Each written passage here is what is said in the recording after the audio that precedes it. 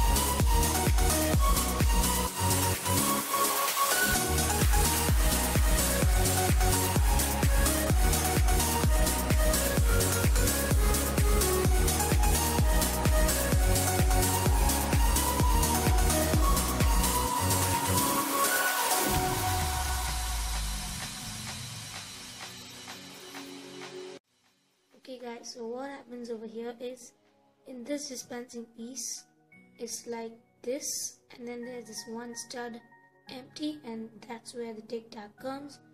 So when you just pull this piece, you see that the tic tac just falls down and there's an eye right there but when you pull there's no eye, there's no piece to block it. The next piece is down there. So in there and it's on top of the eye but when you pull see there's nothing to block it. It's just free down. So that's it and that's how this mechanism works.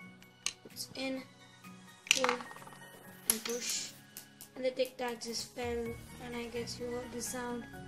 So that's how it works. And I've got two other tic tacs, so just a minute. Yeah, so one tic tac fell, so just to show you the reloading part. So there'll be a tic tac in there. Just a minute. And there'll be another tic tac, and there'll be walls around it so it can't fall. So when you pull, then the tic tac comes on top of this piece.